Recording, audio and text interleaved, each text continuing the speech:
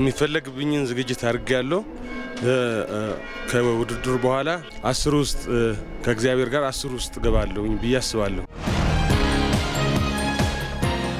ይዤው የመጣሁት ፕሮጀክት sizing ኬሚካል እና adhesive የሚባል ነው።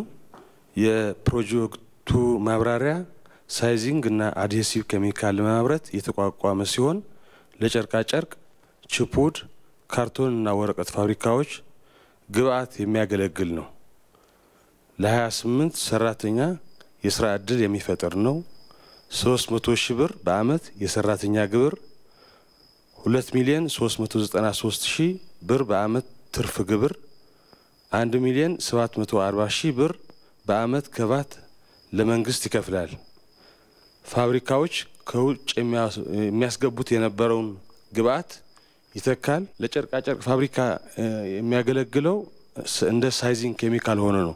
sizing ኬሚካል ማለት ክሩ ከመሸመኑ በፊት ጥንካሬ እንዲያገኝ እንዳይበጣጠስ ክሩ ሲሸመንም ብዙ ቀዳዳዎች ማለፍ ስላለበት smooth ሆኖ እንዲያልፍ የሚያደርግ ኬሚካል ነው ማለት ነው። አንዱ ለጨርቃጨርቅ ችፑድ ላይ ሁለት አይነት function ያለው አንደኛው እንደ መጣበቂያ ሆኖ just ከውጭ የሚያመጡትን urea formaldehyde የሚባል እሱ ጋር በመጨመር እንደ adhesive ያገለግላል። ሁለተኛ ደግሞ urea formaldehyde በጣም toxic የሆነ material ነው። ያ toxic material እስከ 20 percent ይሄ adhesive የ natural adhesive ስለሆነ ከእሱ ጋር ቀላቅለው ይሰሩትና toxic material ኡን ይቀንሰዋል ማለት ነው። ችፑድ ላይ ካርቶን ፋብሪካ ላይ adhesive አሁን ሁለት layer ኦች አሉ። ይህኛውም አብዛኛው almost all ካርቶን ፋብሪካ ኢትዮጵያ ውስጥ ያሉት ከውጭ ነው የሚያመጡት adhesive። ወረቀት ፋብሪካም እንደ sizing ኬሚካል ሆኖ ነው የሚያገለግለው። አልመዳ ጨርቃጨርቅ ፋብሪካ ከኔ ነው እንትን የሚወስደው በዚህ አንድ አመት ውስጥ ከኔ ነው የሚጠቀመው። ከዛ በፊትም በእጅ እያመረትኩ ለነሱ የተወሰነ በ mass ሳይሆን የተወሰነ product እንሰጣቸው ነበር።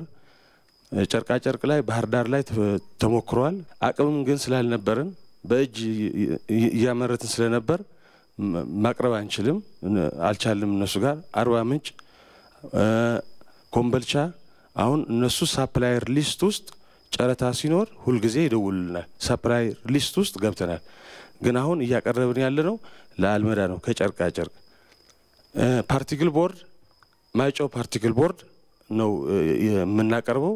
መጀመሪያም የሞከርነው እዛ ነው እስከ 20 percent። አሜሪካና ቻይና ሁሉንም urea formaldehyde ቀይረው መቶ በመቶ አድርገውታል። እኛ እዚሁ አፍሪካ ውስጥ ግን ተሞክሮም አያቅም። ይሄ ሚክስ በማድረግ በዩሪያ ፎርማልዲሃይድ ማለት ነው በችፑድ መልክ እዚህ ብር እንትን አለም ገና ያለው እንትን ሳምፕል ሰጠናቸው። አሁን የአገር ውስጥ ሲሆን ለመሞከርም በጣም ነው እንትን የሚሉት።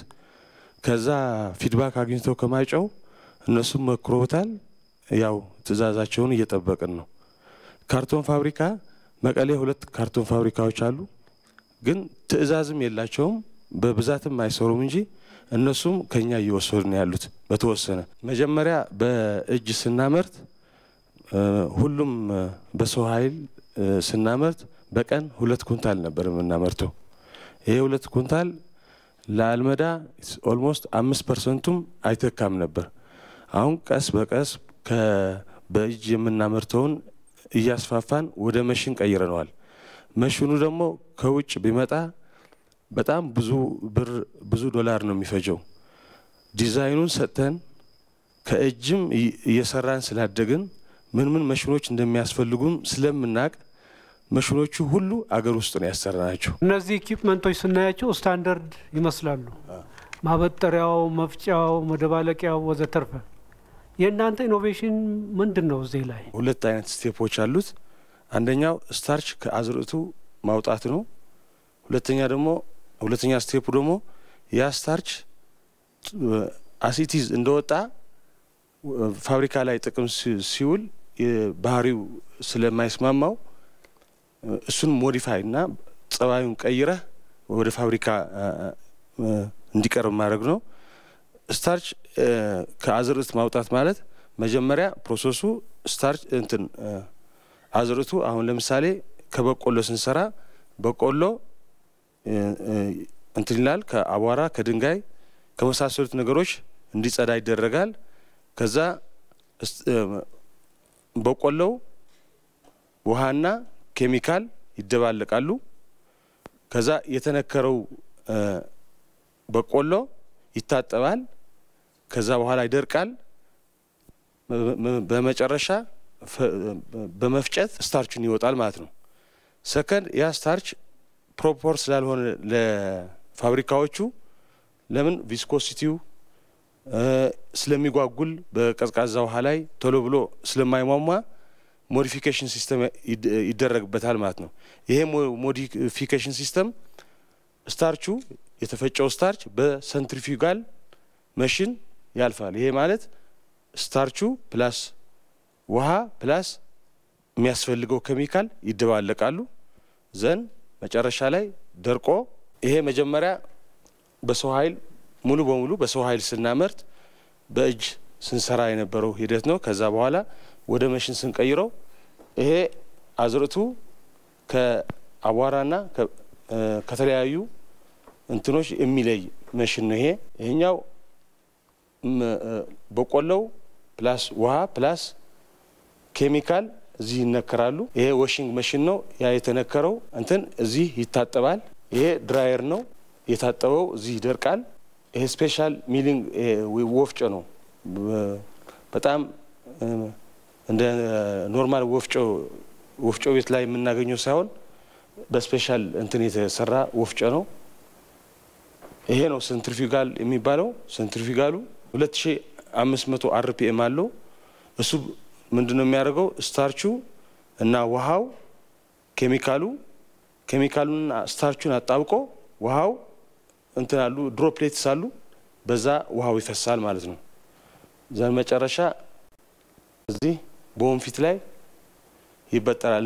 እንደ ፋብሪካው አይነት ለችፑ ሲሆን diameter አለው እንትኑ ወንፊቱ፣ ለቴክስታይል ሲሆንም በተለያዩ አይነት diameter እንደየፋብሪካው እዚህ እንትን ይላሉ። የተሰራው starch ከፋብሪካችን ወደ አልመዳ ሲጓጓዝ ነው። የታችኛው አልመዳ ላይ store እንትን ሆኑ ነው። ይሄ የመጀመሪያ process ኡ እየተፈጨ እያለ ነው እየለየው ማለት ከአቧራ ከድንጋይ ከምናምን እየለየው እያለ ነው። እዚህ ላይ mix እየሆነ እያለ ነው እና በአሁን ደረጃ ስድስት በሰው ኃይል ስናመርት ሁለት ኩንታል እናመርት ነበር። አሁን ግን ይህን መሽን ስንጠቀም በቀን ከስድስት እስከ ሰባት ኩንታል እናመርታለን። አሁን ያሉን ሰራተኞች አስራ ሁለት ሲሆኑ አስሩ ሴቶች፣ ሁለት ወንዶች ሰራተኞች ይገኛሉ። እስቲ ወደ marketing market ወደ ገበያው ወደ sales forecast ከዛ ወደ ፋይናንስ አልመዳ ራሱ በ full capacity design ሲሰራ ከስድስት መቶ በላይ ቶን ይጠቀማል በአመት። ግን ለማነጻጸር ብዬ ይሄኛውን ነው እንትን ያልነው ከጉምሩክ እንትን ያገኘነው ነው የሚያሳየው እየጨመረ ነው የሚሄደው። አሁን ደግሞ በተለየ ከፋብሪካዎች ከቻይና ራሱ migrate እያደረጉ ነው ወደ ኢትዮጵያና textile፣ chipwood እነዚህ ፋብሪካዎች ካርቶን በብዛት እየጨመሩ ነው ያሉት እና የገበያ access even አገር ውስጥም ብዙ ስለማይመረት specially ለ chipwood ና ለካርቶን የሚያመርቱ ስለሌሉ አንድ ፋብሪካ ብቻ ነው ያለው ለቴክስታይል የሚያቀርብ competent ማለት ነው። ችፑድ ላይና እንትን ላይ ግን እኔ እስከማውቀው ድረስ አገር ውስጥ የሚያመርት የለም እና ሰፊ የሆነ ገበያ ያለው ምንም የማያሻማ የአቅም ችግር ነው የሚያጋጥመው እንጂ የገበያ ችግር አያጋጥምም። መጀመሪያ ላይ ሲቀርብ ያየሁት አስተያየት በትንሽ ብር እንደዚህ የሚሰራ አይደለም። ትክክል ነው። ብዙ ሚሊዮን ነው የሚያስፈልገው ይህን starch factory ለመስራት ግን እንደ አቅም ያው የ innovation ስራም ሲጨመርበት ከትንሽ ከእጅ ጀምረን እዚህ ደርሰናል እንጂ ይህን መሽን ከውጭ እናምጣው ቢባል ማአት ሚሊዮን ዶላር ነው እንትን የሚያደርግልን። መጀመሪያ ሁለት ኩንታል ነበረ የምናመርተው። አሁን እስከ ስድስት ኩንታል ሰባት ኩንታል ደርሰናል። ፕሮጀክቱ ስራ ላይ ሲውል ደግሞ 18 ኩንታል per day እናመርታለን ማለት ነው። ሙሉ በሙሉ ፕሮጀክቱ ስራ ላይ ሲውል ጠቅላላ የአመት ሽያጭ 18 ሚሊዮን 900 ሺህ ጠቅላላ የአመት ወጪ 10 ሚሊዮን 923 ሺህ ትርፍ ግብር ሳይጨምር 7 ሚሊዮን 976666 ትርፍ ግብር 2 ሚሊዮን 393 ሺህ የተጣራ ትርፍ ብዬ እዛ 5 ሚሊዮን 583 ሺህ እሱ ከሰራው የሰራሁት ነው። የሚመረቱት ለቴክስታይል ብቻ ነው or እንግዲህ ለ flower farm ብዙ ይፈልጋል ብዬ አስባለሁ። በሌላ ደግሞ እንዲሁ packing company export የሚያደርጓቸውን flower ኦችም ብዙ የሚጠቀም ይመስለኛል። I think market ኡ በጣም ብዙ ነው ያለው። እስካሁን ግን ለምንድን ነው እዛው አድዋ ላይ በሚገኘው አልመዳ ላይ ብቻ ያተኮራችሁት? ሊገባኝ አልቻለም። market ልትፈልጉም አላሰባችሁም ወይስ እዛው ብቻ ለምን እዛ ላይ እንደተወሰናችሁ ውስን እንደሆናችሁ አላቅም። የሚመረቱት ለቴክስታይል ብቻ ነው አይደለም። ቴክስታይል ላይ sizing chemical ተብሎ በራሱ process ይወጣል። ለቺፑድ እንደዛ እስካሁን የምናመርተው ማለት ነው። ለካርቶን እነዚህ ሶስቱ ካርቶን ሁለት ፋኖስ የሚባል እኛን የምናቀርብለት ቺፑድ ማጨው እንትን ይሄ ለቴክስታይል ደግሞ አልመዳ እስካሁን በ mass ማቅረብ የጀመርነው። በእንትን ግን ለአልመዳ ብቻ አይደለም። አርባ ምንጭ አለ supply list ውስጥ ገብተናል። ባህር ዳር እንደዛ፣ ኮምበልቻ እንደዛ ይጠሩናል። ግን capacity የለንም at that time። አሁን ይህን መሽን ከጀመርነው ከአምስት አራት ወር ነው የሚሆንን። በእጅ ነው ሁለት ኩንታል በላይ ነው። አልመዳ የሚያስፈልገው ግን በአንድ shift ሁለት ኩንታል ነው የሚያስፈልገው። ሶስት shift ነው የሚሰራው፣ ስድስት ኩንታል ያስፈልገዋል ባለው አሁን ማለት ነው። በዚህ ስራ ላይ partner ትፈልጋላችሁ ወይ? ኤክስፖርቱንስ አስባችሁታል ወይ? አሁን እንደ መሽን መትከል ከጀመርን በኋላ እየመጡ ነው ራሳቸው። መጀመሪያ ግን የሚያደክም የነበረው ስራ ላይ ግን ማን ያምንሃል? ከሆነ በኋላ ግን ያምኑሃል፣ ይመጣሉ። አሁን አንዳንድ ሰዎች አሉ የሚያናግሩን፣ እሱም እንሰራበታለን። ምንድን ነው ህጋዊ አደረጃጀታቸው? PLC ነው sole ነው sole ነው። የብቻዬ ነው ይሄ። sole። ስለዚህ partner partner ያስፈልገዋል። በምን partner ይመጣ እኮ የሚያስገባ አይደለም formation ኡ ይቀይራላ important ትክክል ነው። የምትጠቀምበት ጥሬ እቃ I think ለምግብነት የሚውል ጥራጥሬ ነው። እና ከ cost benefit analysis ኡ ላይ አንጻር ውድ ሊሆን ስለሚችል ሌሎች means ኦች የሉትም? መጨረሻ treat ሆኖ ሲወጣ base ነው ውሃው base ሆኖ ነው የሚወጣው እና አካባቢያችን ያለው ደግሞ ለብዙ ዓመት የታረሰ መሬት ስለሆነ acidic እንትን ነው ያለው acidic መሬት ነው ያለው እና ምን እያደረግን ነው? በጀሪካን ይወስዱትና ያፈሱታል። እዛ ምን ያደርገዋል? neutral ያደርገዋል። ሌሎቹ ምንድን ነው የሚያደርጉት? lime ምናምን የሚያደርጉ አሉ አይደለ? እንደዛ ሞክሩት ብያቸው እንትን ምንድን ነው የተቃጠለ ተክል እንኳን ራሱ እሱ ሲፈስበት ይድናል እና friendly ለማድረግ እየሞከርን ያለ ነው። እንደ አጋጣሚ ሆኖም አሲድ አይደለም የመጨረሻ የሚፈሰው base ነው። base ደግሞ አሲድ ስለሆነ መሬታችን እንትን ያደርገዋል። upgrade አረጋለሁኝ የ solubility ውን ብልሃል እና እንዴት ነው እሱ ነገር technical የሆነ ነገር ነው። አዎ ስለሚጓጉል ምን ስለሚል ያቺ centrifugal machine special ለእሷ ነው የመጣችው። ምንድነው ባህሪውን ትቀይረዋለህ። starch ኡ ምን በማድረግ chemical ን treat በማድረግ chemical plus ውሃ plus ያ starch አለ። starch ኡና chemical ኡን እንትና ቦንድ ሰርቶ ውሃው droplets አሉ ሲሽከረከር በ2500 ማለት ነው። በዛ ፍጥነት ውሃው ይወጣል። ያ ነው modification system ኡ። by product ኡ መሸጥ የሚችል by product ነው ብልሃልና እንዴት ነው እሱ የምንሸጠው? 600 ለአንድ ኩንታል። ለምን ለማደለቢያ እንደ ፍሩስካ ማለት ነው። ወስደው የሚያቃምሙት አሉ። ራሳችን አንሰራውም። ለሚያቃምሙት ነው የምንሰጣቸው። ለምን ነው ለሚያቃምሙት? ከዚህ ያገኘነው feedback ምንድን ነው? በቆሎ ስለሆነ ለሚታለቡ እንደሚያቀርቡና እንደሚሸጡት እኛ ግን የምናስረክባቸው በስድስት መቶ ብር per kg ዘንድ አርባ percent ኡ የ waste ኡ አርባ percent waste የሚሆነው አርባ percent ወደ መኖ ነው የሚውለው። customer ኡ order ካላረገህ አይመረትም ወይ? ስለዚህ የ order ኡን ትጠብቃለህ ወይ ማለቴ ነው። I think ይሄ ያንተ ችግር በብዛት financing ይመስለኛል። market ችግር የለብህም፣ raw material ችግር የለብህም፣ production አሁን established ነው። ስለዚህ ፋይናንስ ላይ ወይ ባንክ ነው መጠቀም የምችለው ወይ sole proprietorship ኡን አሁኑ ቀይረህ ሌሎች partner ኦችን አብዛኛውን share ራስህ ይዘህ ማለት ነው። valuation አሰርተህ ድርጅቱ value ቢደረግ በጣም ብዙ ያወጣልሃል። ዜናን ስትሸጠው ደግሞ አንተም ለድርጅቱ ቀጣይ እድገት ገንዘብ የምታገኝ ይመስለኛል። እና financing ላይ በደንብ የሚያማክርህ ሰው በጣም ያስፈልግሃል። ከዛ በተረፈ በጣም ጥሩ ፕሮጀክት ነው። value addition ኡም ከፍተኛ ነው።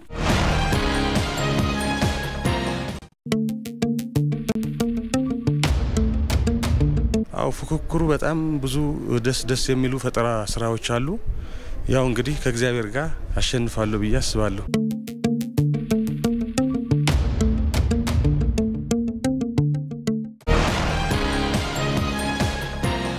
እንደተመለከታችሁት አቶ ሰለሞን ተክለ ሃይማኖት ምርጥ አስር የስራ ፈጠራን ተቀላቅሏል።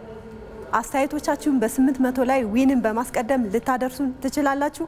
አምስተኛው ዙር የንግድ ስራ ተሰጥኦ ውድድር ዛሬ ተጠናቋል። እስካሁን ባሳለፍናቸው ጊዜያት ተወዳዳሪዎች እንዲሁም በየቤቱ ሆነው ይህን ውድድር የሚከታተሉ ተመልካቾቻችን የሰጡንን አስተያየት ፕሮግራሙ ቢሻሻልና ከአርባ ተወዳዳሪዎች መካከል ምርጥ አስር የስራ ፈጠራ የሚለይበት ውድድር ሂደት ውስጥ ያሉትን ጉዳዮች ተመልካቾቻችን እንዲሁም ተወዳዳሪዎች አስተያየቶችንና ጥቆማዎችን ሰጥተውናል። ወደ እናንተ መልሰን እናቀርባለን።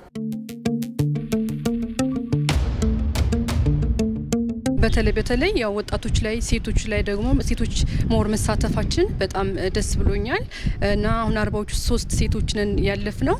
ስለዚህ ወደፊት ደግሞ እንበዛለን። ይሄ ነገር በጣም ያንሳል ማለት እፈልጋለሁ። በጣም ያንሳል። አሁን እኔ ዩኒቨርሲቲ ተማሪ ነኝ። ብዙ ዩኒቨርሲቲ ብዙ በጣም ችግርን ኢትዮጵያ ችግር ሙሉ በሙሉ ሊቀርፍ የሚችሉ ብዙ ፕሮጀክት ስላሉ ግን እንደዚህ አይነት ውድድር ለበለጠ ደግሞ መቀጠል አለበት ብዬ አስባለሁ። እንደኛ አይነት ላለ ሰው ገንዘቡ ለሌለው ሰው እና ሀሳቡን ይዞ ላለ ሰው ከፍተኛ አስተዋጽኦ ከፍተኛ ችግርም የምትዩ የገንዘብ እጥረት ነው፣ የፋይናንስ እጥረት ነው እና እኔ ይህንን ውድድርም ስወዳደር እንደ ትልቅ እድል የሚያሰብኩት ከተለያዩ investor ኦች ጋር ወይ ገንዘብ ካላቸው ስራውን መደገፍ ከሚችሉ ሰዎች ጋር መስራት እችላለሁ የሚል ነው እና እንደዚህ አይነት ውድድሮች አሁን አሁን አንዳንድ ቦታ ያው ብቅ እያሉ ነው፣ ከእናንተም ድርጅት ጭምር ማለት ነው። ግን ትኩረትም ሊደረግበት ይገባል ብዬ የማምነው አሁን የውድድሩ normal የሆነ ሽልማት ከሚሸልም ይልቅ ለምሳሌ ባለሀብቶችን እንዲህ አይነት ሀሳብ ያላቸው ሰዎች አሉ ብሎ አሳይቶ ከኛ ጋር መስራት እንዲችል ያ ነው እኔ ተስፋ አድርጌ የመጣሁት በእውነቱ።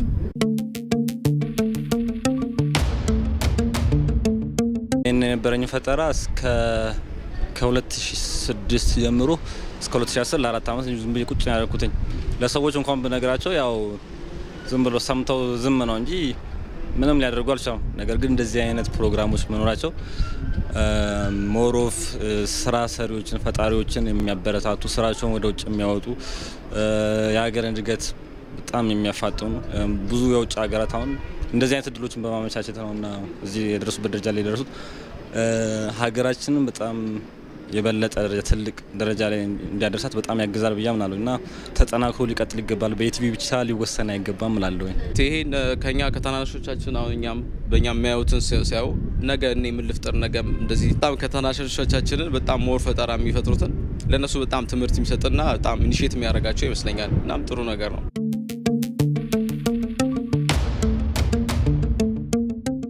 በቃ ራሱን የሚፈትሸው ወይም የሚያገኘው እዚህ ጋር ነው።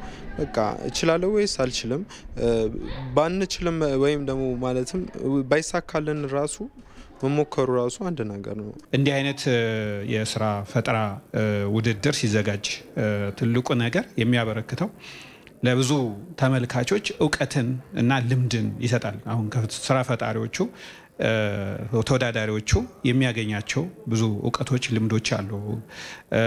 ፓሽን አለ። ይቻላል የሚለውን ነገር ብዙዎቹ በየቤታቸው በሀሳባቸው የያዙት ነገር አለ እና ያንም እንዴት ማውጣት እንደሚችሉ ሁለተኛ እንደገና ደግሞ በዳኞች ደረጃ የሚጠየቁ ጥያቄዎች ብዙ ስራ ፈጣሪዎች ምን ምን ነገሮችን ሊመለከቱ እንደሚገባቸው ውጤታማ ለመሆን በገበያ ላይ እና ከእውቀት የልምድና የእውቀት ሽግግሩ በጣም ከፍተኛ ነው በዚህ ፕሮግራም ላይ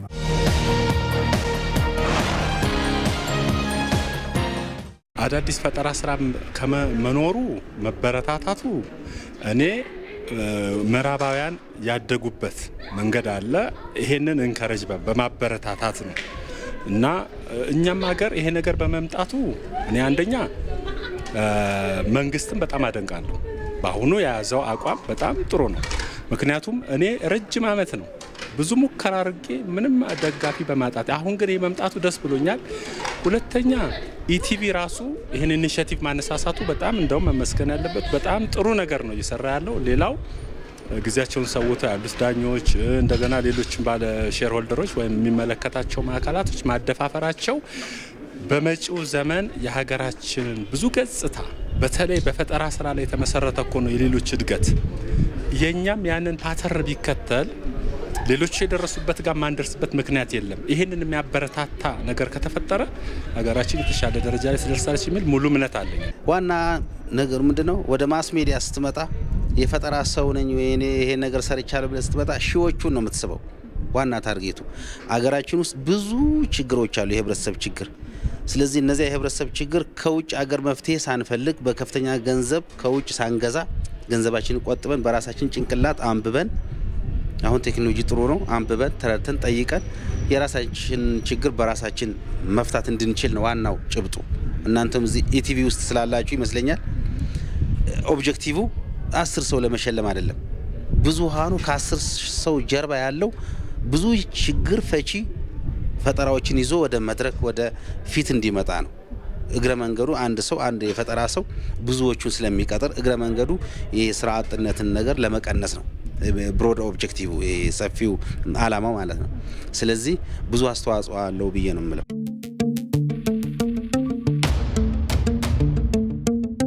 አሁን ኢትዮጵያን ራሱ ብንመለከት ትልቁ ያላት የህዝብ የ population መጠን ወጣቱ ነው።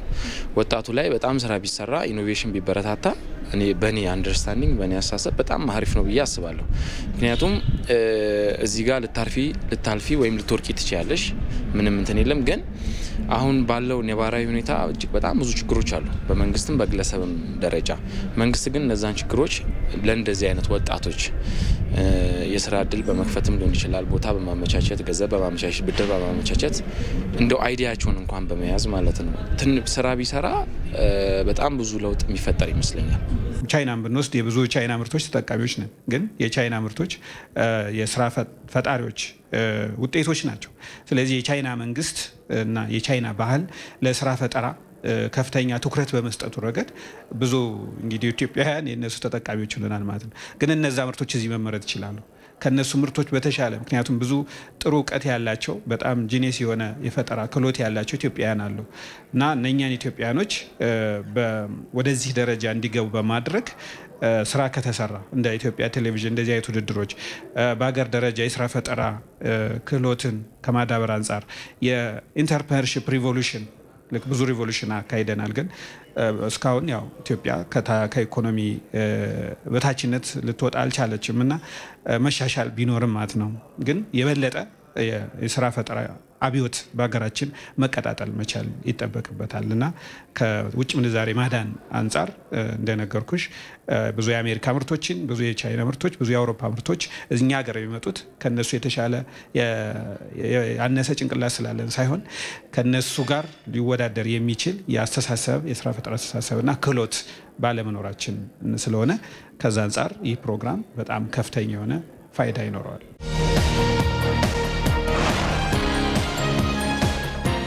የእኔ አሁን የተጀመረው ይሄ የፈጠራ ስራ ከ2007 ጀምሮ ነው እና ብዙ ጊዜ አይተሽ እንደሆነ እኛ ሀገር ደግሞ ፈጠራ ስራን የሚያበረታታ የለም። ወደ መዝናኛው ምናምን ነው እንጂ የሚሄደው ይህን የሚያበረታታ የለም። አሁን ደግሞ ኢቲቪ ጀምሯል። እስቲ ጥሩ ነው ብዬ አስባለሁ። ትንሽ innovation አገራችን ዘግየት ብሏል።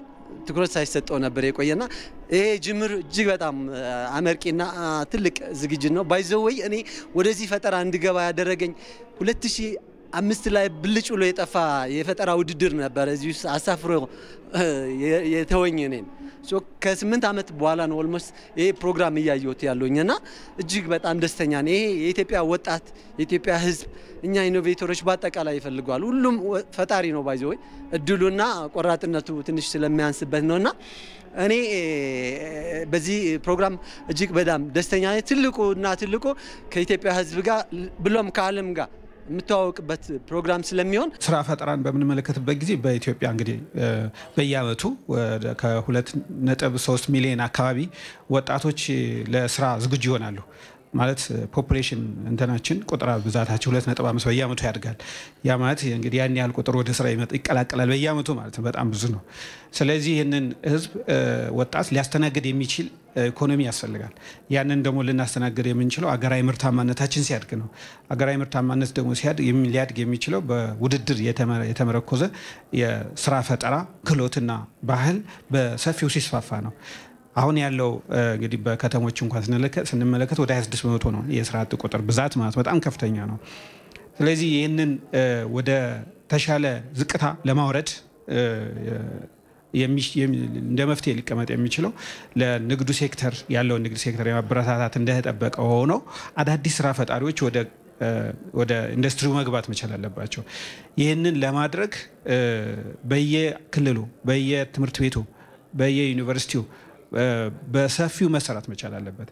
ስለዚህ የሚዲያ ኃላፊነት እንደገና ደግሞ በተለይ ኢትዮጵያ ቴሌቪዥን ይህንን ፕሮግራም በሰፊው በቀጣይ እንዲቀጥልበት በመካከል ባለፈው የተስተጓጎለ ማለት የቀረ ነገር ስለነበረ ማለት ነው። እና በእርግጥ ኢትዮጵያ ቴሌቪዥን ብቻ አይደለም እንግዲህ ኃላፊነት መውጣት ያለበት። ይህንን መንግስት እና እንደገና ደግሞ የግሉ ሴክተር ንግድ ኮርፖሬሽኖች በራሱ እንደ ማህበራዊ ኃላፊነት ወስደው ድጋፍ ሊያደርጉ ይገባል። ኤንጂኦዎችም እንደዚሁ በዚህ ረገድ መስራት መቻል አለባቸው። እና መንግስት እንደ ፖሊሲ ትልቅ ትኩረት ሰጥቶ እና የአገሪቱን ችግር በመፍታት ረገድ እስካሁን private sector ኡ ባለማደጉ የተነሳ አሁን ኢኮኖሚው ችግር የገጠመውን ከዛ አንጻር ነው። ስለዚህ ልዩ ትኩረት ያስፈልገዋል። በፖሊሲ ደረጃ መቀረጽ መቻል አለበት። እንደተመለከታችሁት ከአርባ ተወዳዳሪዎች መካከል ምርጥ አስር የስራ ፈጠራ የሚለይበት ውድድር በዚህ ተጠናቋል። ስልክ በመደወል እንዲሁም በአጭር የጽሁፍ መልእክት አስተያየቶቻችሁን እስካሁን ስታደርሱን የቆያችሁ ተመልካቾቻችን ፕሮግራሙ በእናንተ አስተያየትና ጥቆማ ነውና እዚህ የደረሰው ተመልካቾቻችንን እናመሰግናለን። ሳምንት የመጨረሻውን ዙር ውድድር ወደ እናንተ እናደርሳለን። ቢስተካከል ቢሻሻል የምትሉትን አስተያየቶቻችሁን በስምንት መቶ ላይ ዊንን በማስቀደም ብታደርሱን መልሰን ወደ እናንተ እናደርሳለን። ሳምንት እንገናኝ። ጤና ይስጥልኝ።